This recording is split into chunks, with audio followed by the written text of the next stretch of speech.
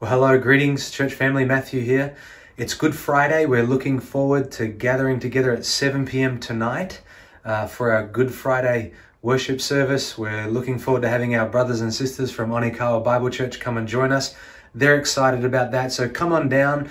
We want to uh, extol the, the majesty and glory of our great God and His wonderful Son uh, this evening. Uh, it's a brief service, 7 to 8 p.m. So come along for that and we look forward to, to joining with you uh, over this whole weekend. It's a special weekend. Obviously, we're really looking forward to Resurrection Sunday, uh, this Sunday at 9:30 a.m., where we again will come and worship God. You know, it is the the heartbeat and very real desire of every child of God who's been born by the Spirit to come and worship God.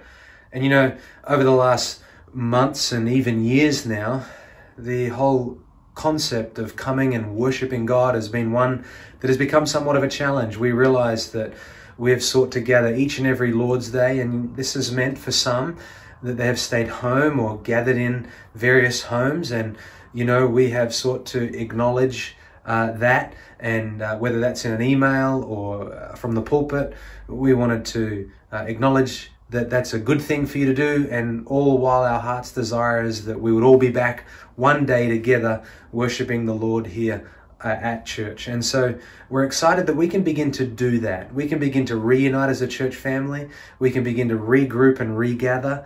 We are indwelt by the Spirit of God. The love of God has been shed abroad in our hearts.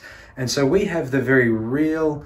Uh, potential now to display to the watching world a supernatural love where we can, uh, by grace, uh, forbear with one another, uh, let love cover uh, things. We can forgive one another. We can acknowledge uh, areas where we've grown, uh, even where we have sought to um, put things right where we need to, because these have been difficult days, difficult days for everyone. And so Church family, as elders, we love you.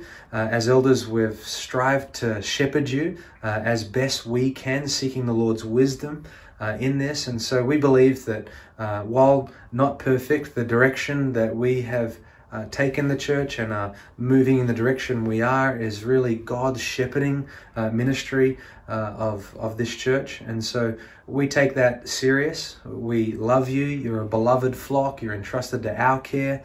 We're just under shepherds of the great shepherd who's leading us all home. And so we look forward to gathering together uh, as one, uh, beginning really this Sunday, and then building on that each uh, Lord's Day to come. And so we also want to be mindful that there'll be some of you that uh, have this virus at the moment, that you're recovering from the virus. We're praying for you. And then there's others who uh, are choosing to, to, to stay uh, at home and, and, and uh, stay uh, away for the moment because they want the virus to pass by the bay to a greater extent. And so we respect that. Uh, we encourage you in that. We want you to make decisions uh, if it's in that context that are most wise for you.